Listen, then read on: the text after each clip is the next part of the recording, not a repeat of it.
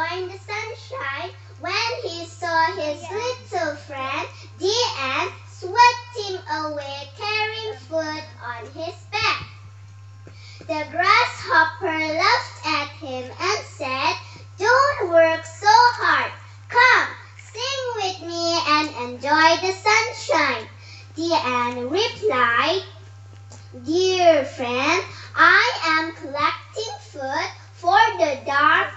winter days that is to come. The grasshopper laughed, ha ha ha, and went away singing, playing, and enjoyed the moment without food and died from starvation. The moral of my story is presence of mind always help. Thank you.